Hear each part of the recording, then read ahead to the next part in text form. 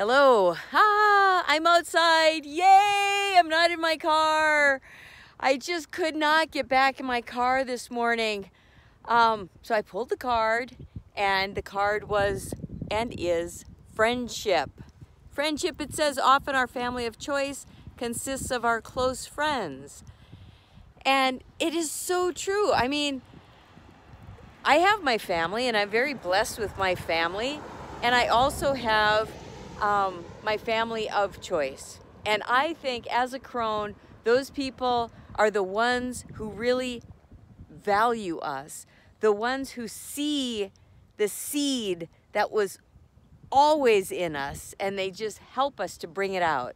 And um, yeah, I'm just really, really blessed. I saw my nephew yesterday and he falls into that category. I saw my brother too, and it was awesome when I saw Elliot, it's like my heart just opens up because it's like we have this um, unspoken thing where we just really, I think we really value each other at a deep, deep level. And uh, as far as friendship goes, I've got a couple friends in Port Townsend who have been with me the whole time on the trip. Maybe not physically, but they're there for me and I love them. And um, also, what inspires me to get back into the car? No! But what inspires me is my friend Helen, who I'm going to be staying with in Surprise. Um, I met her years and years ago on a personal development course. We've been friends ever since, and I haven't seen her for probably a decade.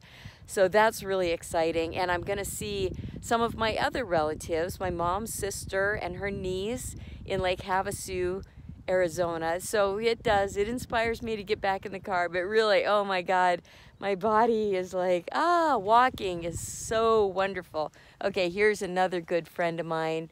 This is Ruby, and she's been with me. Hey, Ruby. She's been with me the whole time on this trip. so that's the card of the day is friendship, and I'll see you tomorrow. Take care.